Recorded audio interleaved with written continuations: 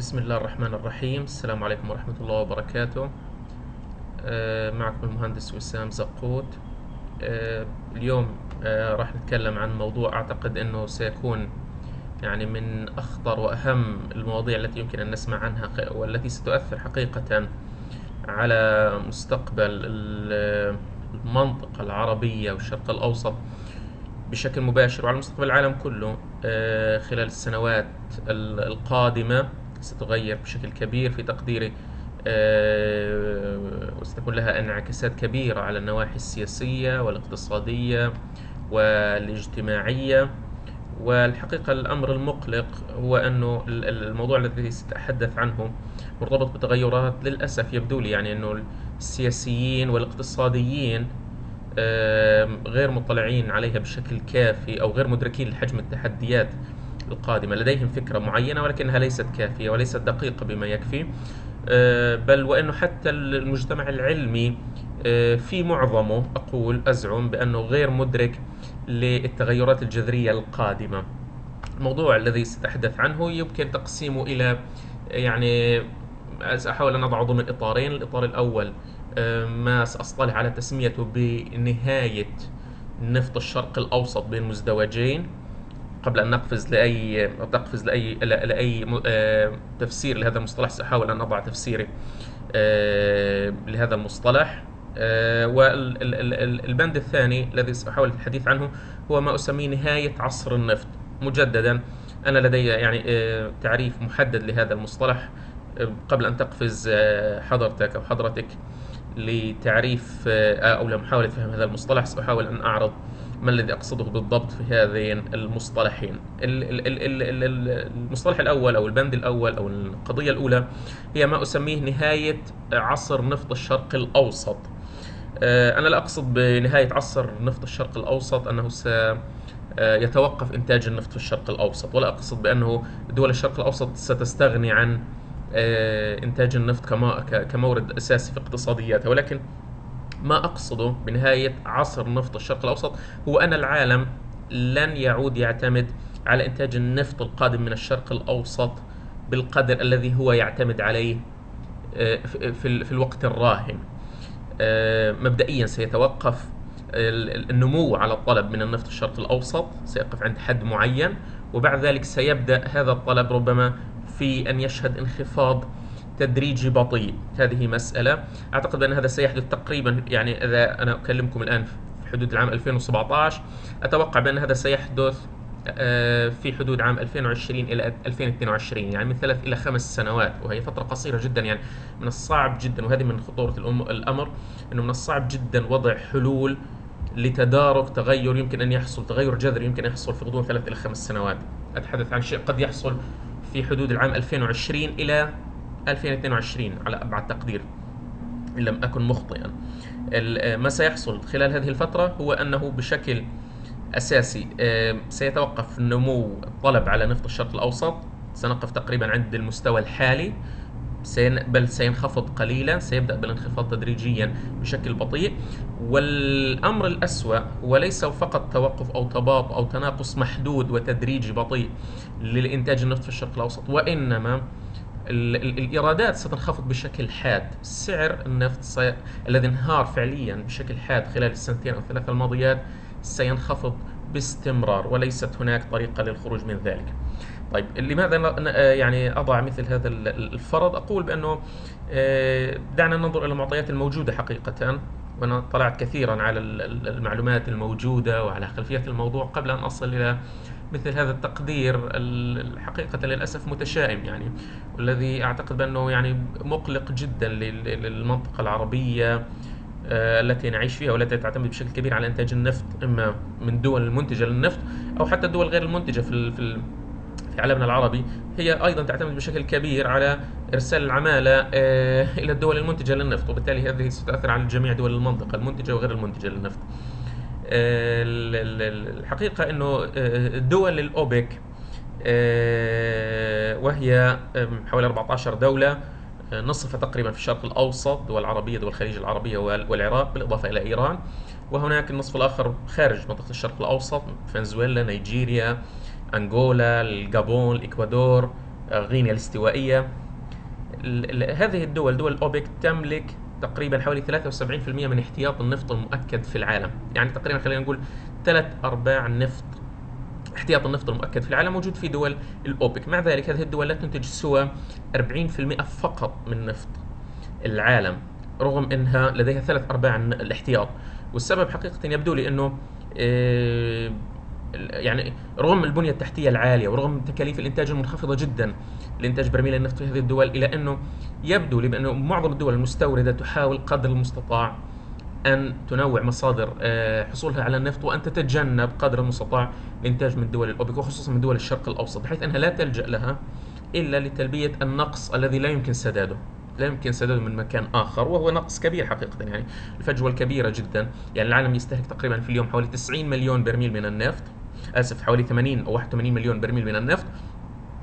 40% آه، منها تأتي من دول الأوبك يعني حوالي 32 مليون برميل.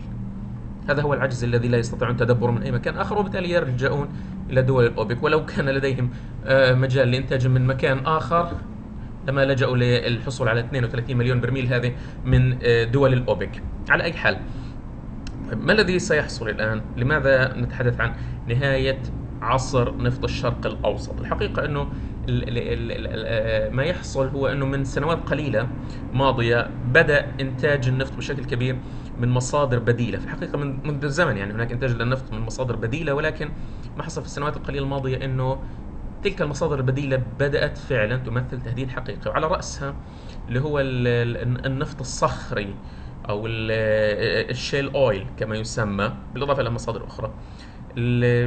هذا النفط لم يكن مجديا إنتاجه قبل سنوات. طبعا هناك رمال نفطية وهناك مصادر أخرى للنفط ولكن آه، مصادر غير تقليدية ولكن الشيل أويل النفط الصخري تحديدا آه، حدث فيه تغير كبير جدا إنه قبل سنوات محدودة كان تكلفة إنتاج البرميل منه تصل إلى 80 دولار للبرميل تقريبا. فلما كان يعني سعر برميل البترول 100 دولار كان مجدي لهم لكن عند انخفاضه عن 80 دولار لا لا مجال للإنتاج النفط في من في الولايات المتحدة الأمريكية مثلا من النفط الصخري لأنه سيكون يعني حط خسارة بالنسبة لهم. تكلفة إنتاجه أعلى من سعر بيعه في السوق. لكن مع تطور التكنولوجيا بدأت تكلفة إنتاج برميل النفط تنخفض من 80 70 60 دولار في المتوسط.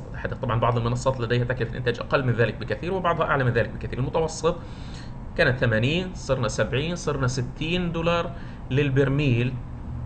السعودية حاولت تدارك ذلك قبل في نهاية حوالي عام 2014 آه، وجد أنه الزيادة مستمرة في عدد منصات النفط حفر وإنتاج النفط الصخري في الولايات المتحدة الأمريكية وإنه هناك دول أخرى بدأت يعني تطلع على نفس الأمر.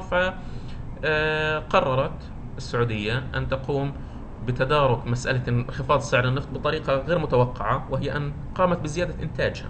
الهدف آه، كان تدمير أسعار النفط مؤقتا بحيث أنه تكبد منتجي النفط من مصادر أخرى خسائر تجبرهم على إيقاف مشاريعهم الاستثمارية في مجال إنتاج النفط الصخري. وبالتالي تعود هي بكل أريحية للسوق لتتحكم بالسعر كما كانت تفعل سابقا.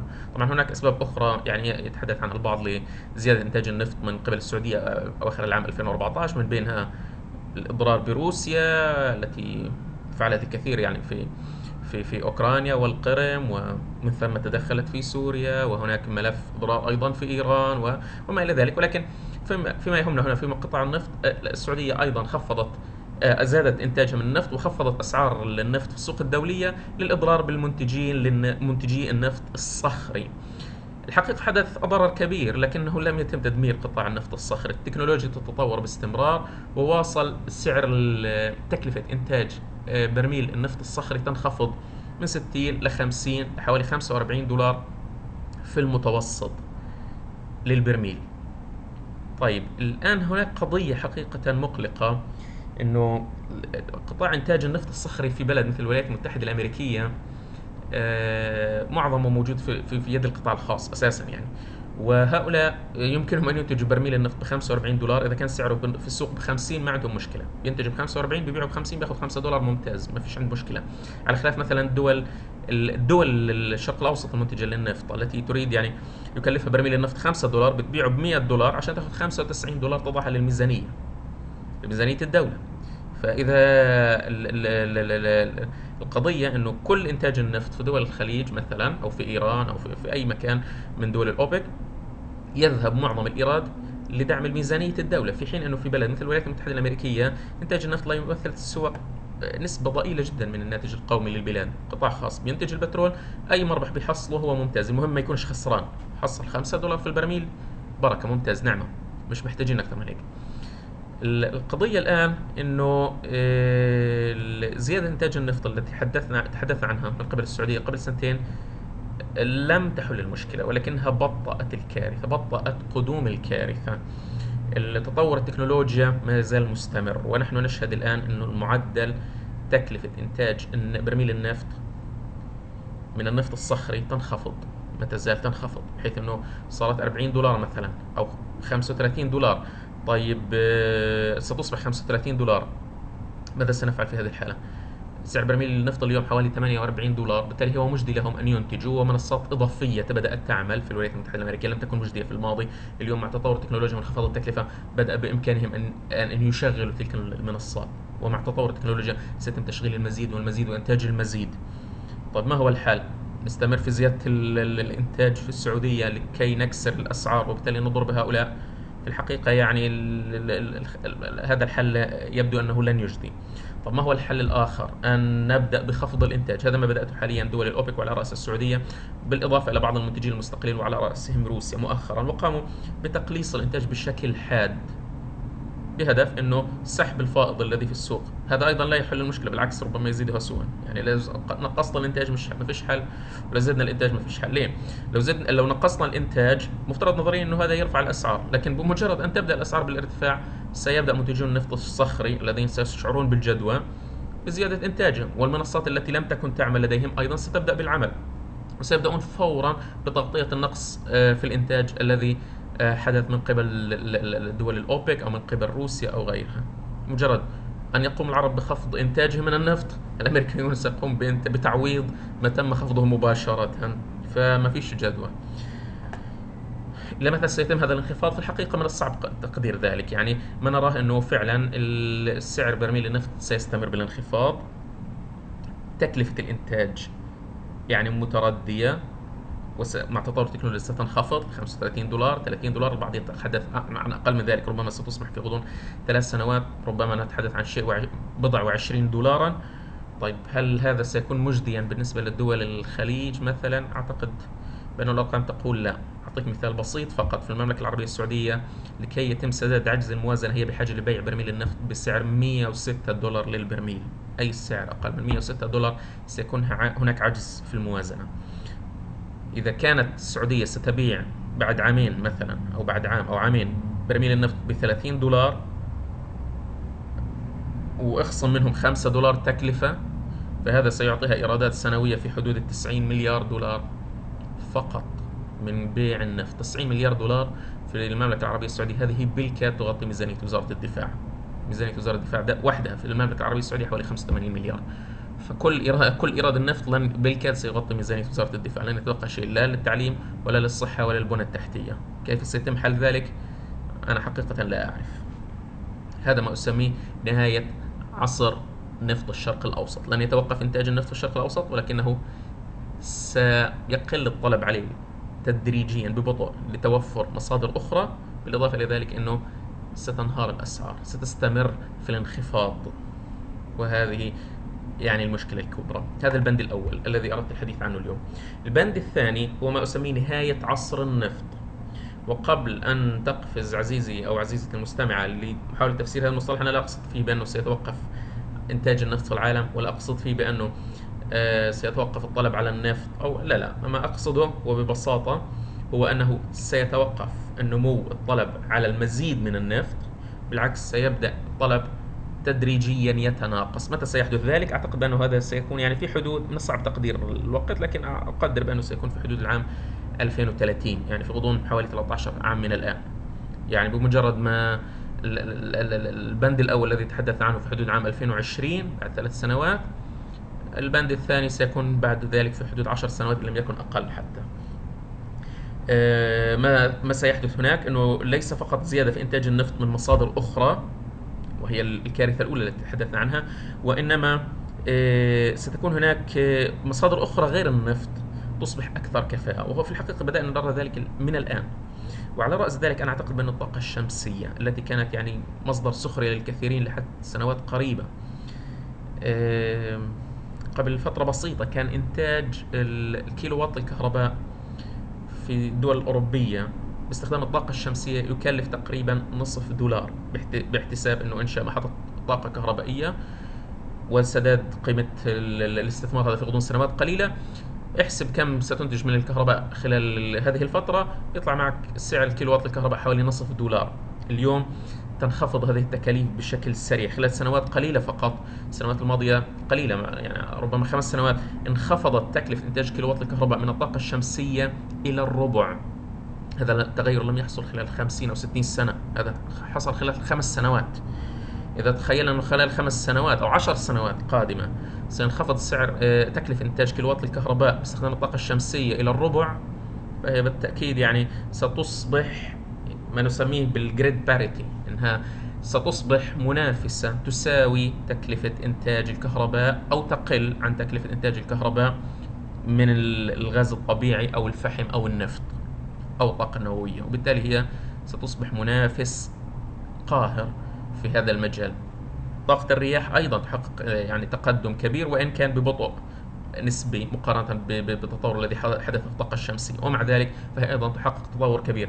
يعني ما ما الانخفاض الذي يحصل في السعر إنتاج كيلووات الكهرباء من الطاقة الشمسية خلال خمس سنوات ربما تحتاج طاقة الرياح لتحقيق هذا الإنجاز إلى عشر سنوات ولكن في غضون عشر سنوات ستصبح هناك يعني كارثة كبرى حقيقة بالنسبة للدول التي تعتمد على تصدير النفط إلى دول تريد هذا النفط لإنتاج الكهرباء. شيء آخر طبعا وما ينطبق على النفط ينطبق إلى حد ما على الغاز يعني بالعكس يمكن في مسألة الغاز الأمر أسوأ لأنه نحن لم نتحدث عن الشيل جاز الغاز الصخري والذي بدأت الولايات المتحدة الأمريكية لا تنتج فقط يعني الولايات المتحدة الأمريكية تنتج حوالي 5 مليون برميل من النفط الصخري. في حين انها في مسألة الغاز الصخري في غضون سنوات قليله أصبحت الآن لديها فائض تحولت من دولة مستوردة إلى دولة مكتفية بل ولديها فائض محدود للتصدير. فالأمر يعني غاية في الصعوبة. طيب التطور في مجال إنتاج الطاقة من مصادر أخرى غير النفط كما رأينا نتحدث عن الطاقة الشمسية بالدرجة الأولى ومصادر أخرى مختلفة. آه، وإن كنت أراهن بشكل كبير على الطاقة الشمسية أنا. هل هذا سيدمر قطاع النفط؟ في الحقيقة لا. لأنه آه، معظم النفط في العالم آه، أو لنتذكر أنه معظم النفط في العالم يستخدم حقيقة لثلاث استخدامات، الاستخدام الأول اللي هو لوقود لوسائل النقل وعلى رأس السيارات، السيارات تستهلك حوالي النفط ربع نفط العالم. هناك أيضا لإنتاج الكهرباء بدرجة أقل وهناك أيضا يستخدم النفط لإنتاج الكيماويات. طيب الآن هذه ثلاث أمور. مسألة الكهرباء ستتعرض لضربة قاصمة في تقدير خلال العشر سنوات القادمة. إنتاج الكهرباء باستخدام النفط وبدرجة ما من الغاز ستتعرض من النفط ستتعرض لضربة قاسمة ومن الغاز طبيعي ستتعرض لأثر لا بأس به يعني سلبي. طيب الناحية الثانية اللي هي إنتاج آه، أو استخدام النفط عفوا كوقود للسيارات. آه، في الحقيقة هنا ستحدث الكارثة الكبرى لمنتجي النفط في الشرق الأوسط والعالم كله. آه، إذا وصلت التكنولوجيا إلى حد أن تؤثر على قطاع النقل بحيث يبدأ قطاع النقل في العالم آه، يتحرر من حاجته للنفط. في الحقيقة سيتحرر. في تقديري المسألة الأولى السيارات ستبدأ تدريجيا بالتحول إلى الكهرباء. إذا كانت الكهرباء ستنخفض تكلفتها بشكل حاد باستخدام مع تطور تكنولوجيا إنتاج الكهرباء من الطاقة الشمسية ومصادر أخرى فسنبدأ نشهد إنه كل شيء سيتم تحريكه بالكهرباء. كما شاهدنا في الماضي تحول القطارات والمترو عربات المترو الأنفاق آه، إلى الطاقة الكهربائية والترام إلى الطاقة الكهربائية بعد ما كانت قطارات بالفحم وإلى آخره والغاز وإلى آخره الآن سنتحول تدريجيا السيارات أيضا؟ ستتحول إلى سيارات هايبريد أو سيارات بالكهرباء وبقطاع عالي جدا وبكفاءة عالية جدا مع تطور نظام البطاريات وانخفاض سعر الكهرباء. آه، أيضا سيتم إنتاج الكهرباء من مصادر أخرى لم نتحدث عنها. هناك أبحاث كثيرة في مجال مفاعلات الثوريوم مثلا. مفاعلات نووية آمنة مختلفة عن المفاعلات الموجودة حاليا وأقل تكلفة مخلفاتها أقل تل تلويثا وهي لا يمكن استخدامها لإنتاج أسلحة نووية إلى آخره. فبالتالي أكثر امانا وأقل تكلفة. موضوع طويل آه، لا مجال للحديث عنه الآن. ولكن على أي حال السيارات الباصات يمكن أن تتحول إلى الطاقة الكهربائية وهي تتحول الآن بشكل تدريجي. مختلف وسائل النقل تتحول تدريجيا إلى نظام القيادة الذاتية auto vehicles وهذه يقلل التكلفة هذه ليست مسألة راحة فقط للسائق و... لا هذه تقلل تكلفة الوقود لأنها تضمن آه، ليس فقط السلام وليس فقط الراحة ولكن أيضا تضمن الكفاءة العالية جدا في القيادة بحيث يتم تقليل عملية استهلاك الوقود إلى الحدود الدنيا الممكنة. موضوع طويل يعني لا يتسع المقام لشرح وتفصيله كيف الآن. آه، فبالتالي إذا كانت ضربه تطور التكنولوجيا هذه ستؤثر ليس فقط على محطات الكهرباء التي لن تعود تعمل بالطاقه باستخدام النفط والغاز. وعلى قطاع النقل والسيارات والشاحنات والباصات التي لن تعود تعتمد على آه، كثيرا على النفط خصوصا فيما يتعلق بالسيارات الكارثة ستتم يعني إلى أبعد حد إذا وصلت التكنولوجيا أيضا وأعتقد بأنها محتمل جدا أنها ستصل إلى القطاع الثالث الذي يحتاج النفط وهو قطاع الكيماويات.